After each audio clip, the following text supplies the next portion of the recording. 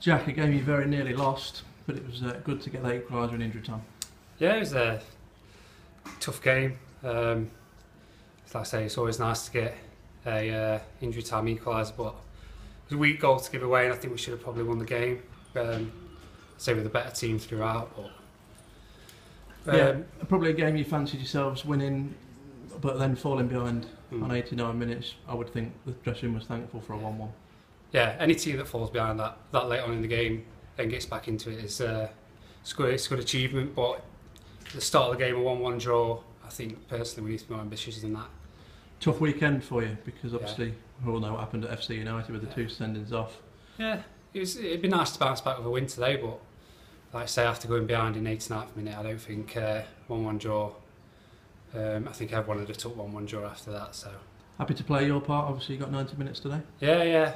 Uh, had a few injuries and stuff like that, but um, yeah, I'm happy to be back in the starting lineup today. How have you found the start of the season? Obviously, you've had the head injury at Southport, which kept you out for a little while, and then I think you've had a little one arrive, so you've been a bit disrupted Yeah. there. But finally, glad presumably to get get settled again. Uh, it's been a bit hard to get uh, into the swing of things. Um, two games I've missed, uh, the Alfreton game and the Chorley game, are the two games we've won. So I was never going to get back in the team after we'd won those games. But after Saturday, um, I, I've got my chance today and I've done all right. Obviously, you had to come on at FC United and do a job at centre half when bodies were drop- dropping Yeah. left, right, and centre. But back in your more favoured role today.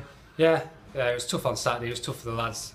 Uh, basically played 45 minutes with 10 men and 9 men, so it was uh, it was tough for the lads that played. Um, there was a bit of rotation today. Obviously, some fresh legs in. Uh, we're having the game on the Saturday and then on the Monday, but um, yeah, And nice for the two lads who got sent off on Saturday to have a positive impact right at the end. Obviously, Greg winning his header and, and Brad slamming it home. yeah, they've done well. They've redeemed themselves in some ways.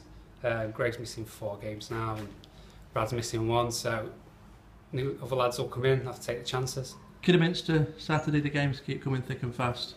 Presume you're looking to keep your place and get that elusive, at least an away point, hopefully an away Yeah. win. Yeah, well, we'll go. We'll go there to do a job.